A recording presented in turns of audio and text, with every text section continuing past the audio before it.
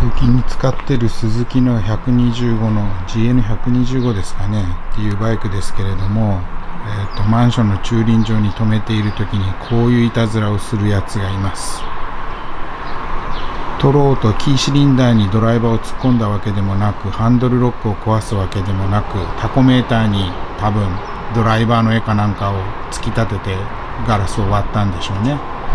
針はくぼんで針自体がもう回らなくなっています。これだとどうも都合が悪いので部品をメーターを交換しようと思います。取り寄せたパーツを見てみると一番簡単なのは多分タコメーターだけを取り外してメーターアッシーからタコメーターだけを取り外してタコメーターだけ交換するのが一番簡単そうです。もちろんこの割られたところだけではガラスだけではなくてタコメーター全体を交換しなきゃいけないのでこれが一番簡単かなと思って早速やってみます。はい。とりあえずメーターのアッシーからタコメーターだけ取り外してみました。えっ、と基本的には単純に、えっ、と血栓類は基本的にはカプラーで1つ。それとちょっと見えにくいですけどここにギボシが1つ。これで、えっとタコメーター自体の血栓は終わりそうです。比較的簡単に交換できるかもしれませんね。やってみましょう。初めてメインスタンドをかけたような気がします。サイドスタンドしか使ってなかったので。さあ簡単に取り外せるか。サービスマニュアルもない中で見ただけでうまくいくのか分かりませんけどやってみましょう。早速、えーと、取り掛かりますけれども実は、えーと、タコメーターをだけ見てタコメーターを外してタコメーターを交換するっていう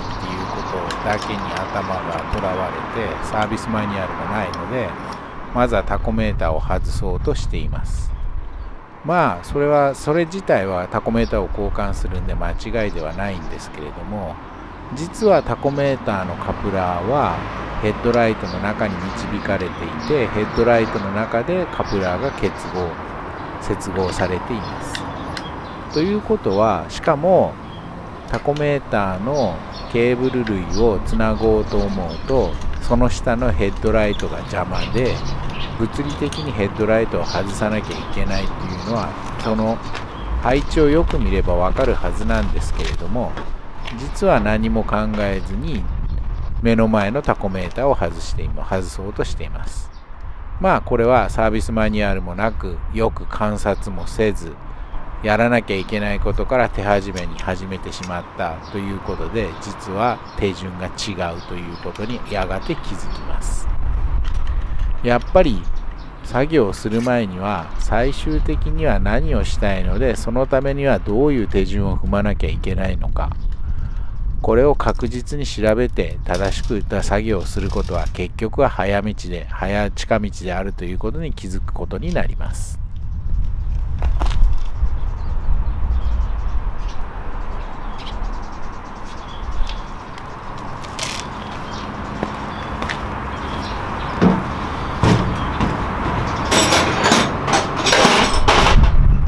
作業を進めていけばやがてなんかが順番が違うなっていうことに気がつきます。やっとヘッドライトを外すことに気がついたようです。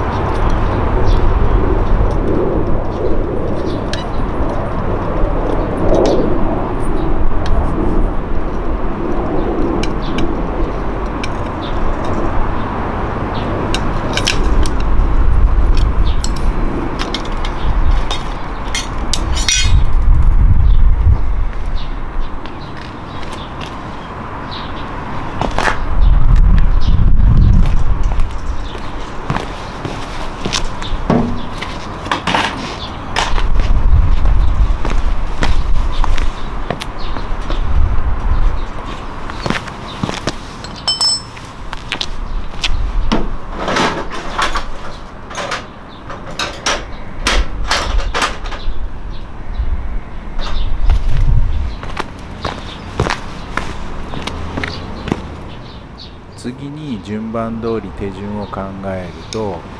えーと、ギアのポジションメーターの裏蓋を外すことになります。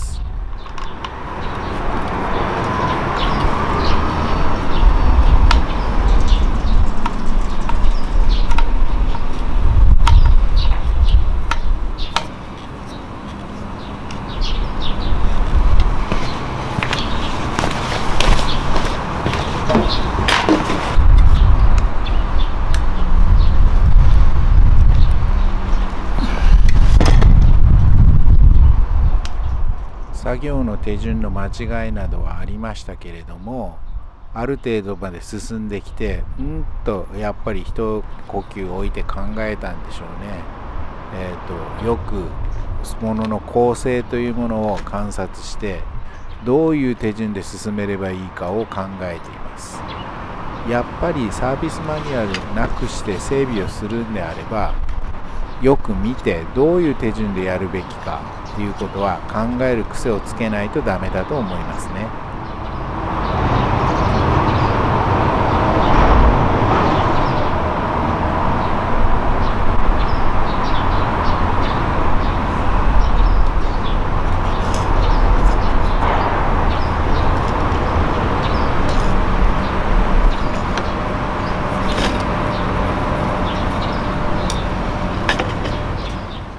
動車やバイクの整備を手慣れた人ならば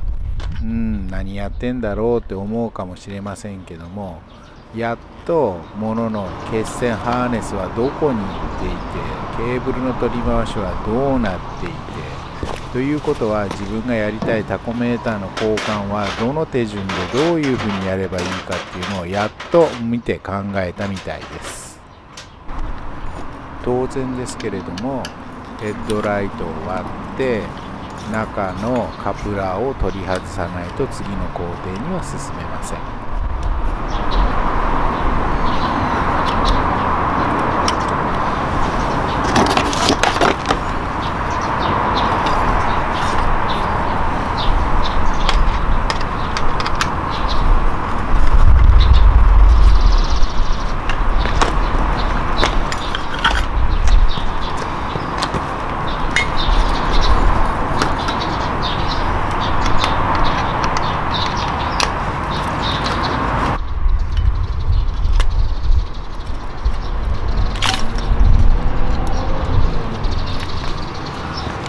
とりあえずタコメーターが外れました。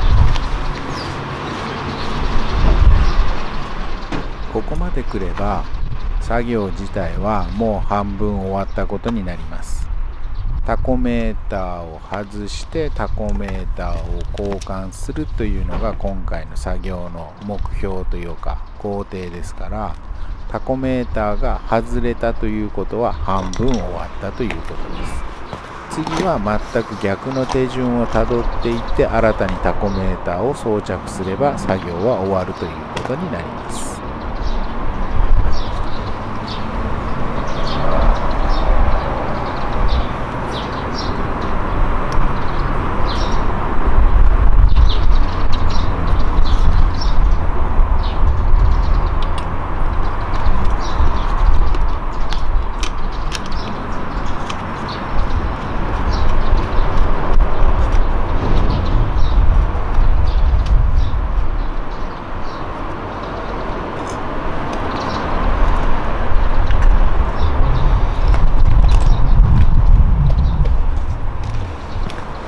れでタコメーターが動くかどうか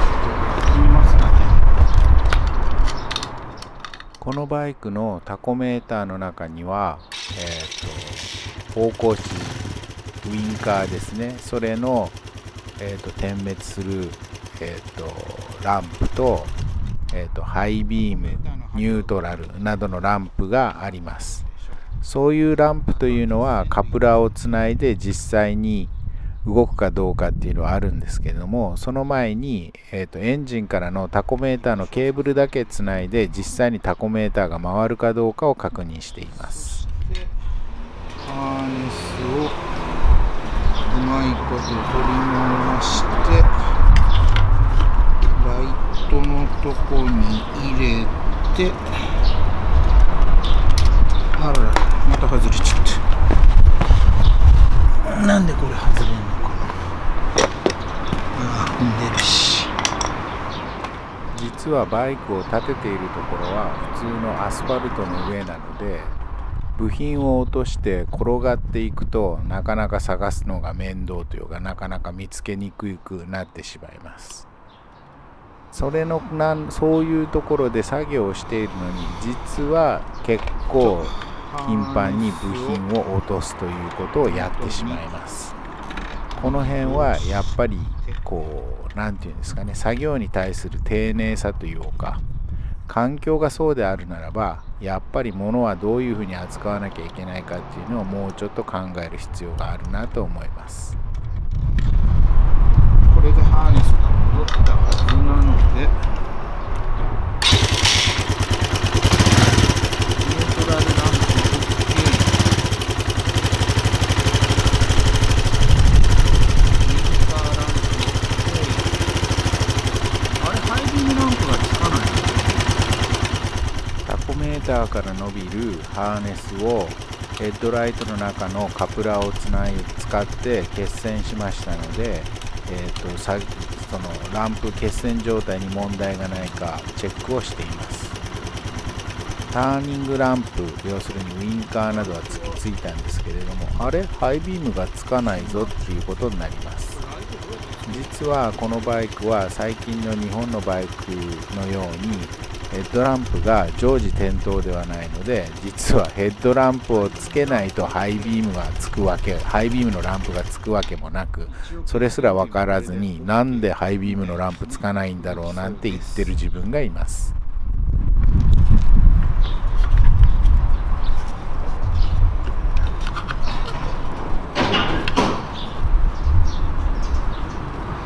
取り回し上タコメーターの決線を変えたんだねもう一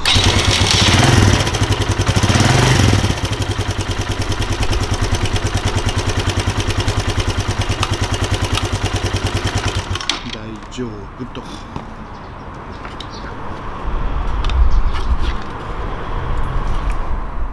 タコメーターのハーネス類をちゃんとつないだ後にカプラーで決線した後に全てのことに問題がないか確認をしました。えっと確認したところ全て動作状況は良好だったので問題がないということが分かります。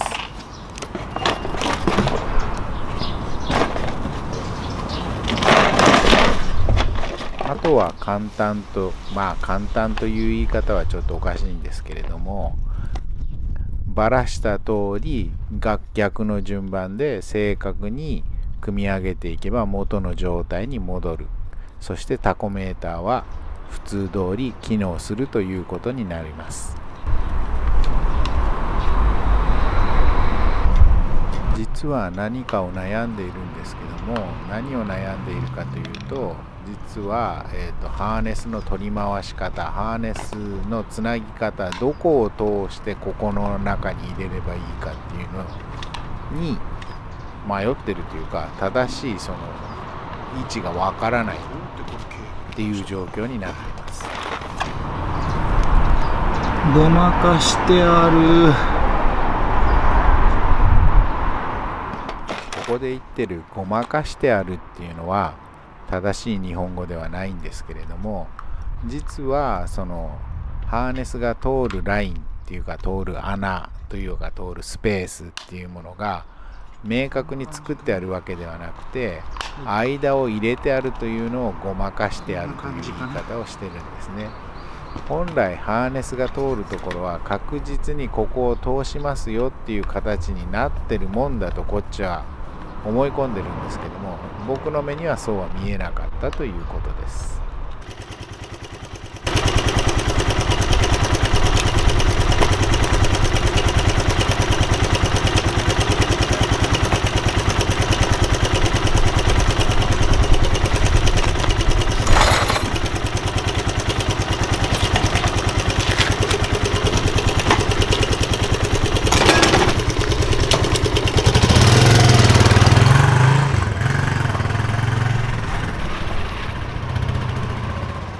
ヘッドライトを外しましたので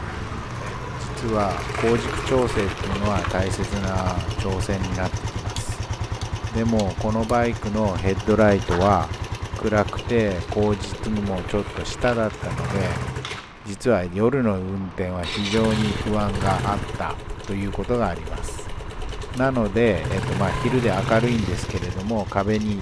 光を当ててみてヘッドライトの光を当ててみてまあ光軸的にちょっとは上向きかもしれませんけども対向車に眩しくない範囲で光量を確保します。とりあえずメーター交換が終了しましたよ。